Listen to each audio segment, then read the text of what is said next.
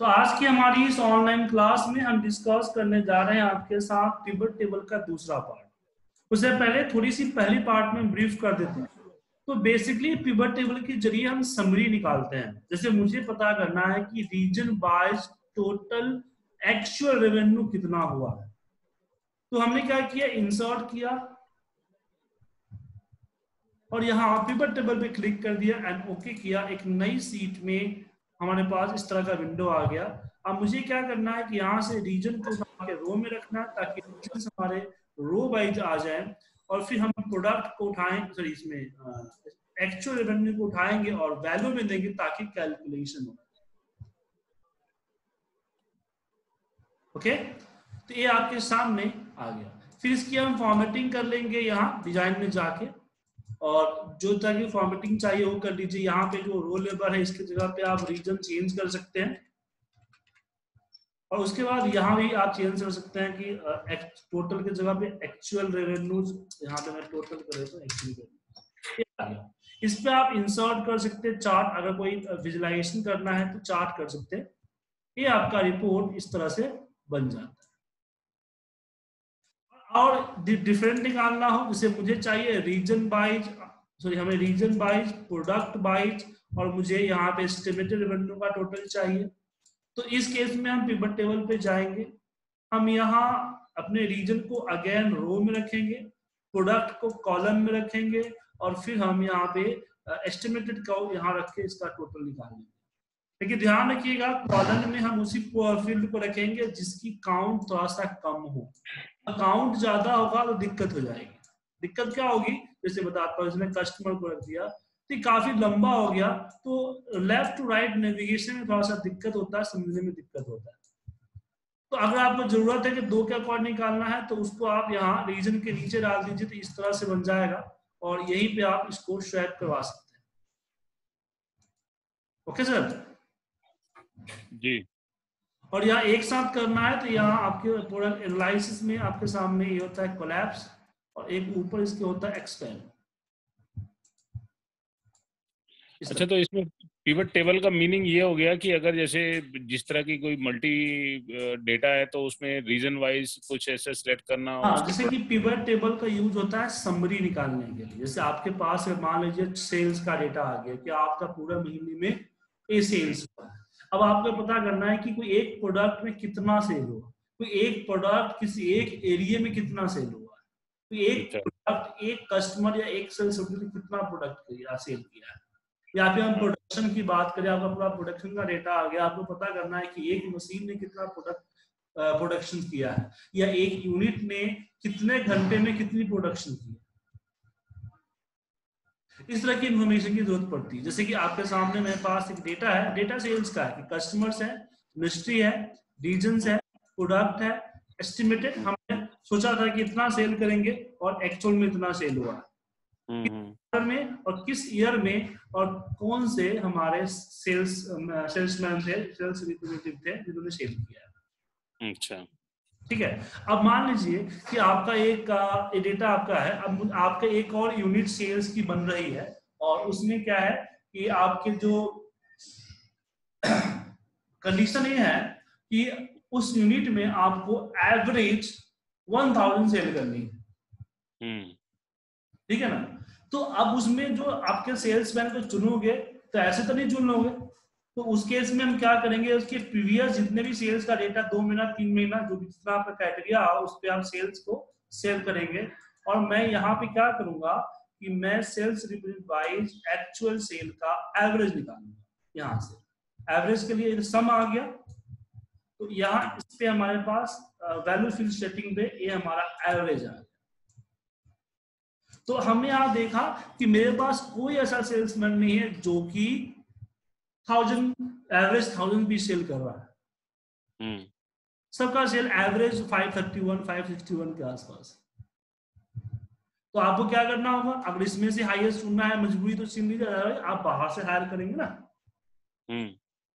तो इससे क्या हुआ कि आपको एक इंफॉर्मेशन मिल गई। तो इस तरह के रिपोर्ट्स बनाते हैं ताकि हमें इंफॉर्मेशन मिल जाए और हम उस इंफॉर्मेशन के बिहार पे आगे का डिसीज़न ले समझे सर? जी। ये हम यूज़ करते हैं पिवट टेबल के ज़रिए तो चलिए इसमें हम बात कर रहे थे जैसे हमने कुछ निकाला। मान लीजिए मुझे दो चाहिए। मुझे मान लीजिए कि हमारा जो इंडस्ट्री है तो हमें ये देखना है कि हमारा सेल फोकस किस पे करना है। फोकस किस पे करना है? किसको मदद की ज़रूरत है? एक्स्ट्रा एक्स्ट्रा अफोर्ड की ज़रूरत है। तो हमने इंडस्ट्री वाइज हमने यहाँ पे मान लीजिए कि एक्चुअल सेल निकाली। तो यहाँ पे देखिए कि आपको ये दिख रहा है कि भाई जो है ना, नेशनल गुड्स जो है, वो बहुत कम सेल हो रहा है। तो इसमें मुझे एक्स्ट्रा एफर्ट की ज़रूरत है, ताकि इसका सेल भी बढ़े सबके रैंक में आए और हमारा कमर्शियल गुड्स है, ये हमारा अच्छा परफॉर्म कर रहा है तो इस पर ध्यान देने की ज़रूरत है। ये अच्छा परफॉर्म करता है। तो सेल का यही रीजन होता है ना, कि जो अच्छा परफॉर्मेंस है जो अच्छी सेल है उस पर नज़र बनाए रखनी है उस पर ध्यान देते रहना है। और जो जो प्रोडक्ट का सेल बहुत ही नीचे है डाउन है उसको उस पर एक्स्ट्रा एफर्ट लगा के उसको ऊपर की तरफ़ लाते रहे सेल का यही करता है ना सर जी जी बिल्कुल यही होता तो इस तरह की चीज़ें जानने के लिए क्योंकि आप जब लगाएँगे जब जानेंगे तभी ना तो जानने के लिए आपको इन्फॉर्मेशन प्रोवाइड करके देता है। तो या फिर टेक्निकली मैं बोलूँ टेक्निकली अगर बोलूँ तो जैसे कि आपके पास ये डेटा आ गया अब डेटा क्या है? एक सेल्स का डेटा है। अब आपको यहाँ पे टोटल पता करना है कि यूरोप का टोटल सेल कितना हुआ है। नॉर्थ अमेरिका का टोटल सेल कितना हुआ है। तो ऐसे वन बाय वन करने में काफ़ी टाइम लग जाएगा। पिवट आपको एक सिंगल क्लिक पे दे देता है। अब यहाँ हम बात कर रहे हैं कि यहाँ जो हम सम करते हैं तो दूसरी चीज़ है कि इसमें आप कई सारे फ़ील्ड को रख सकते हो। तो याद रखिएगा रो में रखते हैं ताकि रो बाय डेटा कॉलम में रखते हैं ताकि हमारा कॉलम बाय मैट्रिक्स बने राइट जैसे कि हमने रीजन को रख दिया तो मैट्रिक्स बन गया। और इसमें वैल्यू में हम वो रखते हैं जिसकी कैलकुलेशन करनी। तो कैलकुलेशन में अगर जिस फ़ील्ड को आप रखते हैं, उस फ़ील्ड में अगर नंबर हुआ तो बाय डिफ़ॉल्ट सम कर देगा अगर टेक्स्ट हुआ तो काउंट कर देगा।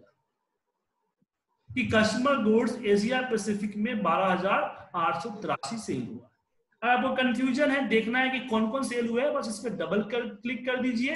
एक नई शीट में पूरा का पूरा डेटा को कॉपी करके पेज कर देगा जस्ट डबल क्लिक करना। कि ये जो बारह हज़ार समथिंग हुआ है, वो किन किन डेटा से बन के हुआ हूँ।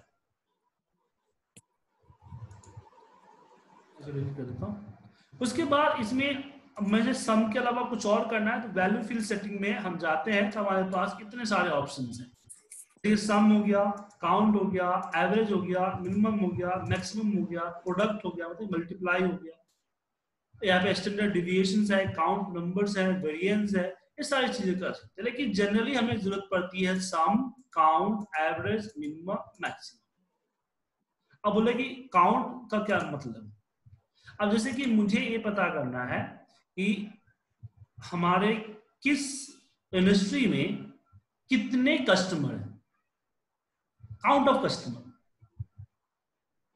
तो उस केस में मैं यहाँ हटाऊँगा और अपने कस्टमर को यहाँ रख दूँगा तो यहाँ काउंट ऑफ़ कस्टमर हो गया। कस्टमर गुड एशिया में 19 कस्टमर ने परचेज किया है। ओके जी। तो इसी तरह से आप काउंट कर सकते हैं एवरेज कर सकते हैं मिनिमम कर सकते हैं। तो कैलकुलेशन आप कर लीजिएगा यहाँ पे रखने के बाद वैल्यू फिल सेटिंग में ये अपने जो कैलकुलेशन चाहिए कैलकुलेशन कर सकते हैं। जैसे मिनिमम ऑर्डर कितने का आया था? तो आप पता चलेगा कि मिनिमम ऑर्डर इस हर किसी का मिनिमम ऑर्डर यहाँ दिख रहा है। और यहाँ पे अब मान लीजिए कि मिनिमम ऑर्डर कितने का आया और कितना आया? जैसे मान लीजिए कि आप सेट करना जी जी। आपकी आवाज़ कम आ रही है थोड़ी सी मेरे फ़ोन पे अभी थोड़ी इमीडिएट कुछ कम हुई है। किसी को दिक्कत है और किसी को? नहीं सर। देखिए सर आपके मेरे यहाँ से प्रॉब्लम होता है सबको होता है। अच्छा अच्छा। ठीक है। तो अब यहाँ पे जैसे देखिए कि मिनिमम ऑर्डर हमारा आया मिनिमम ऑर्डर आया 143 अब मेरे से मान लीजिए कि आप मिनिमम ऑर्डर फिक्स करना चाहते हैं। अब चाहते हैं भाई हम 50 से नीचे का ऑर्डर नहीं लेंगे। जैसे होता है ना ग्रोसरी वगैरह में आप ऑनलाइन कुछ बुक करते हो तो इतना मिनिमम होना चाहिए, तभी आपका ऑर्डर एक्सेप्ट होगा, नहीं तो नहीं होगा। या डिलीवरी चार्ज लगेगा वगैरह वगैरह अब मान लीजिए कि आपने 50 तक की बाउंडेशन कर दी तो आपको ये पता होना चाहिए कि अभी तक जो सेल आ रहा है, वो कितनी काउंट क्वांटिटी में आ रहा है। अब ऐसा हुआ कि मेरा मेजर सेल ही पचास से नीचे आता है, और आपने बॉन्ड कर दिया तो मेजर सेल भी आपका रिफेक्ट कर जाएगा ना। तो हमने इसको कस्टमर को यहाँ काउंट में रख दिया। तो काउंट में लग गया तो यहाँ देखिए कि 143 सेल आया 19 कस्टमर से।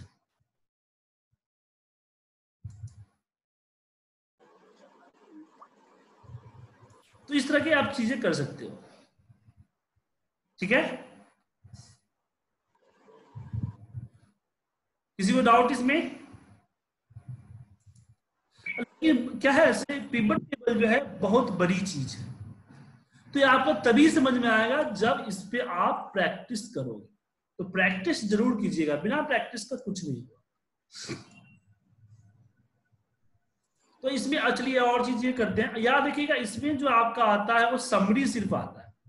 तो मैंने इसके नीचे रीजन लिख दिया रीजन के नीचे मैंने यहाँ पे प्रोडक्ट लिख दिया क्वार्टर हमने यहाँ पे रख दिया, और हमने यहाँ पे एक्चुअल का टोटल कर दिया। ये डेटा बनेगा हमारा। तो इस तरह से डेटा भी आप बना सकते हैं। लेकिन आप अलग अलग कॉलम में करना चाहते हैं, क्योंकि आप देखिए, यहीं पे आपको क्या है कि इंडस्ट्री भी है, यहीं पे आपको, आपका रीजन भी है और प्रोडक्ट भी है। तो आपका ऐसा खिचड़ी हो सकता है तो उससे अच्छा है कि आप यहाँ डिज़ाइन में चले जाए और यहाँ आपके सामने आता है टेबलर फॉर्म या फिर राइट क्लिक करके पिवट टेबल ऑप्शन पे आ जाएँ और यहाँ डिस्प्ले में क्लासिकल पिवट टेबल लेआउट है, इसको सिलेक्ट करके ओके कर। ये अलग अलग इस तरह से आ जाएगा। तो इस तरह की रिपोर्टें आप बना सकते हैं। और ज़्यादा और बेटर करने के लिए आप पेपर टेबल में इसको मर्ज कर दीजिएगा तो बेटर हो जाएगा। जैसे कि ये आपका कस्टमर गुड्स हो गया ये आपका एशिया पैसिफिक ये आपका यूरोप ये आपका नॉर्थ और इसके प्रोडक्ट और यहाँ पे सेल्स अब इसमें जिसके अंदर सेल नहीं हुआ, जैसे मान लीजिए कि एशिया पैसिफिक में जो आपका सीआरएम है, वो क्वार्टर वन टू तक सेल नहीं हुआ है थ्री और फोर हुआ है। तो ऐसे बहुत सारे ब्लैंक्स है, आप चाहते हैं इसमें ज़ीरो आ जाए, या कोई और ट्रैक्टर या कोई और नंबर चाहते हैं। तो पिवट टेबल ऑप्शन पे आए, और पिवट टेबल ऑप्शन पे ही आपको आ जाएगा फोर एम्पिटी सेल यहाँ पे हमने ज़ीरो कर दिया एंड ओके कर इस तरह से टेबल आपको फुलफिल लग रहा है। लेकिन आप बोलेंगे, क्या मैं इस पे चार्ट बना सकता हूँ? जी नहीं। चार्ट आप बना तो सकते हैं, लेकिन चार्ट सही तरीके से आएगा, समझ में आएगा, इसकी गारंटी नहीं। इसको अगर कट करके मैं किसी और सीट पे ले गया, जी हाँ पिवट का चार्ट कट करके किसी और सीट पे ले आ सकता हूँ और इसको मैंने थोड़ा सा बड़ा करूँगा, फिर भी हमें लगता है आपको समझ में आएगा।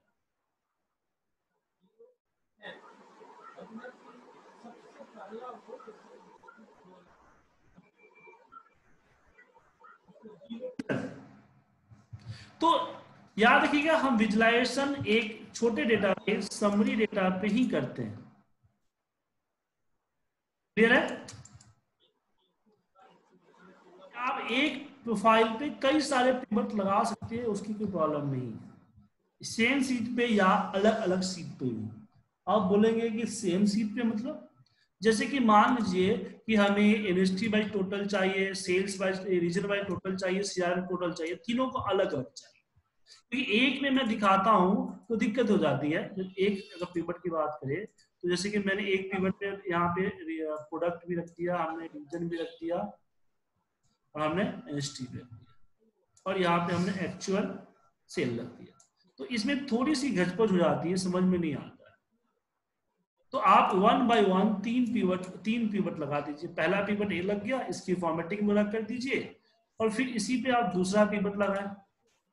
दूसरा पीवट लगाते समय यहाँ एग्जिस्टिंग वर्कशीट सेलेक्ट करें फिर नया शीट खोल देगा और फिर जहाँ चाहिए, यहाँ पर रखिए। ओके और फिर यहाँ पे मेरा क्या हो जाएगा?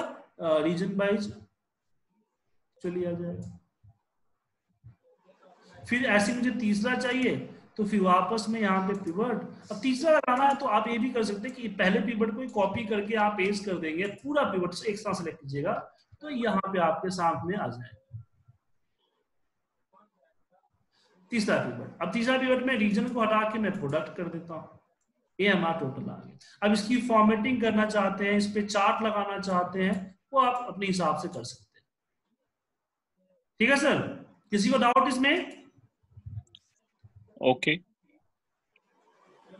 लेकिन प्रॉब्लम यही है कि आगे बढ़ने से पहले इस पर थोड़ी सी प्रैक्टिस करें। तो आप लोगों ने आ, मैंने कल फ़ाइल भेजा था आप लोगों ने किया इस पे प्रैक्टिस यस सर मैंने किया था। आपने भेजा नहीं कुछ ना के? यस सर मैंने बना भेजा नहीं आपको मैं अभी भेज देती हूँ। मैंने किया था कल। ग्राफ भी बनाया था छोटा सा। उसमें फ़िल्टर भी लगाया था। अच्छा एक काम कीजिए मैं डेटा दोबारा आपको भेज रहा हूँ ठीक है? एक मिनट शैलेंद्र जी।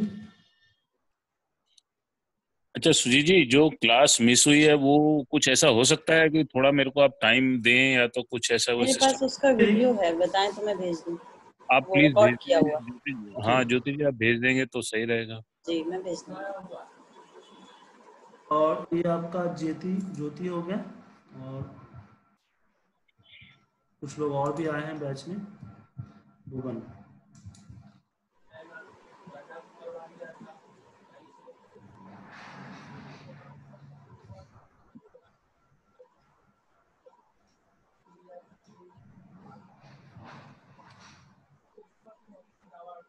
आपकी आईडी सिन्हा जी सिन्हा आईडी कौन सी है? मेरी ID Shailendra Kumar one nine double hello आपका आईडी क्या है? वन नाइन एट फोर है ना sir one nine double six वाला। मेरा शैलेंद्र के नाम से। कल से नहीं फ़ाइल नहीं जाता आपको। हाँ वही मैं आप जिस समय टाइप कर रहे थे उस समय भी मुझे लग रहा था कहीं पे वो हो रहा है। तो आप प्लीज़ दोबारा भेज दीजिए ये है ना? अच्छा भुवन जी आप हमें अपनी ईमेल आईडी भेजेंगे? फ़ाइल भेज दूँ आपको मैं?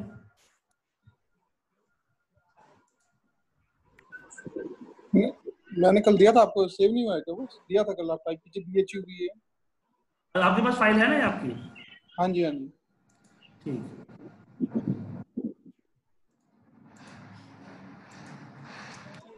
तो मुझे आप क्या करें इसके ऊपर देखिए पिवट लगाना बड़ी बात नहीं है। आखिर उस इंफॉर्मेशन से क्या बेनिफिट है ये समझना बड़ी बात है। ध्यान रखिएगा।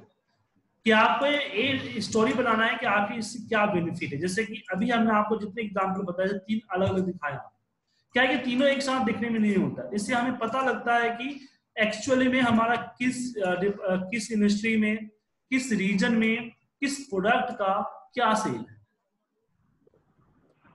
तो जो भी आप डेटा के ऊपर एनालिसिस करते हैं तो उसका एक मतलब होना चाहिए। ऐसा नहीं कि पेपर लगाया हमने रीजन को रख दिया प्रोडक्ट को रख दिया, नहीं। आखिर क्यों रख रहे हैं, इसको भी समझना ज़रूरी है। मतलब कि जब आप कोई डेटा पे बने तो आप समझे कि आप अपने लिए बना रहे हैं और इस इंफॉर्मेशन से आपके बिज़नेस को या आपकी कंपनी को बहुत फ़ायदा होने वाला है। फिर इसके ऊपर आप काम करें तो आपके लिए बेटर हो क्योंकि पिवट टेबल के ज़रिए हम रिपोर्ट्स बनाते हैं। और रिपोर्ट्स क्या होता है? रिपोर्ट्स होता है इंफॉर्मेशन किसके लिए? हम अपनी कंपनी के लिए डिसीज़न ले सके। समझे? एग्जैक्टली exactly, यही मीनिंग होता है। हाँ अब जैसे मान लीजिए कि हमारा सेल है अब हम लोग क्या करते हैं कि हर क्वार्टर में अ, हमें एक देखना है कि किस क्वार्टर में मैं अपने बिज़नेस की प्रमोशन ज़्यादा करूँ। किस क्वार्टर में अपने बिज़नेस की प्रमोशन ज़्यादा करूँ। अब इसके दो फैक्ट हैं। पहला फैक्ट है कि कोई ऐसा क्वार्टर होता है जिसमें जिसमें मेरा मेजर सेल होता है और मैं ज़्यादा से ज़्यादा उसमें सेल करना चाहता हूँ। जैसे कि फेस्टिवल जैसे मान लीजिए कि एक पेंट कंपनी है वो अपना प्रमोशन सबसे ज़्यादा कब करता है? दीपावली के समय।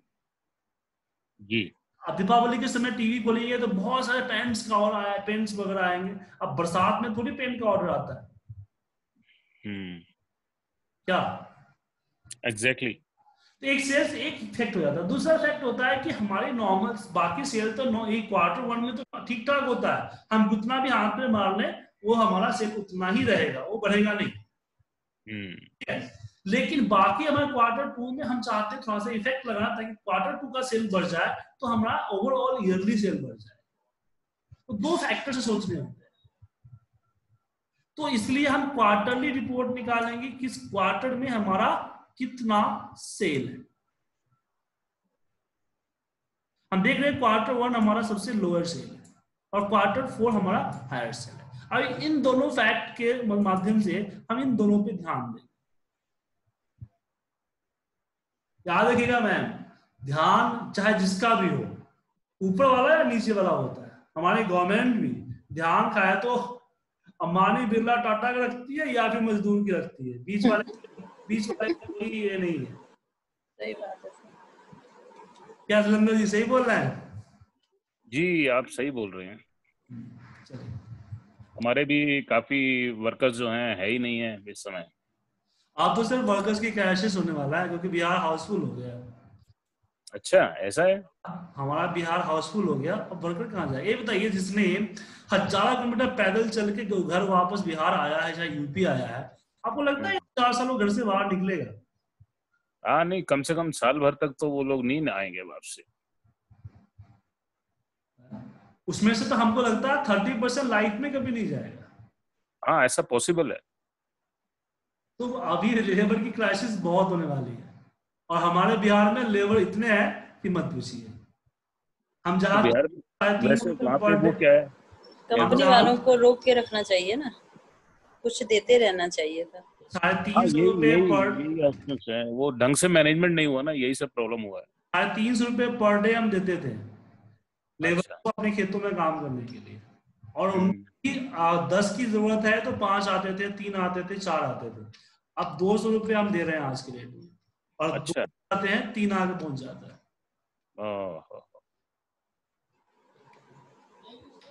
समझे?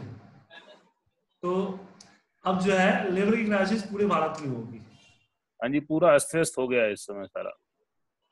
बस मैनेजमेंट सही नहीं हुआ। अगर जैसे जैसे लॉकडाउन हुआ था, उसमें दो चीज़ें करनी थी। एक